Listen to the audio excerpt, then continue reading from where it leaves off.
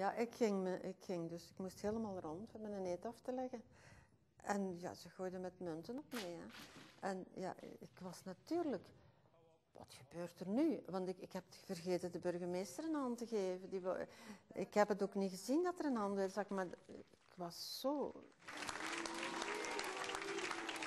Er werd hevig gereageerd in Diepenbeek dinsdag toen de 66-jarige Marta Roeks de eed aflegde. Roeks stapte in december uit de partij. Ze gingen een verjonging doen.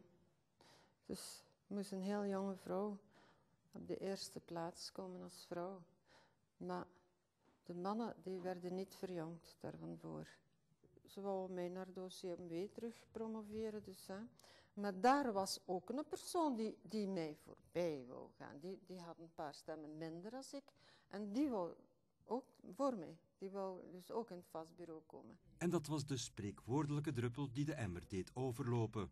Ik voelde me achteruit gesto- geschoven en ook ik voelde me zeer gediscrimineerd.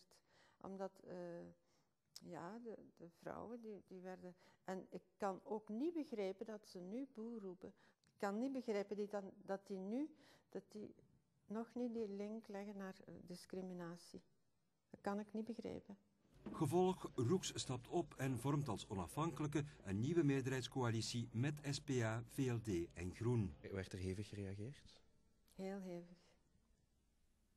Heel hevig. Hoe waren de reacties?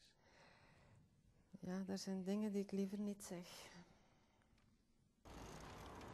Hoe dan ook, Roeks wordt vanavond wellicht de enige onafhankelijke OCMW-voorzitter in ons land.